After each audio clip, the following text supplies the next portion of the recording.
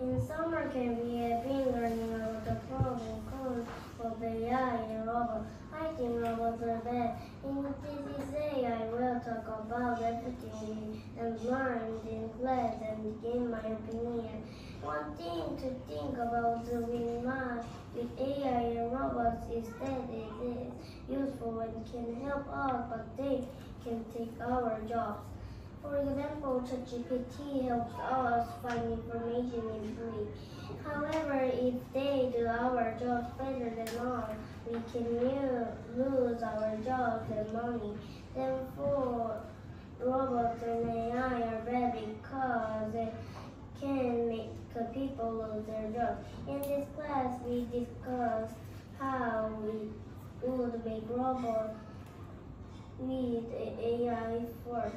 We built the robot and we gave it a name. Mine is called AI 2.8. My AI is called which is where do not go to the door, go to the dog's house.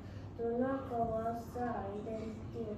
Do not get human information and do not get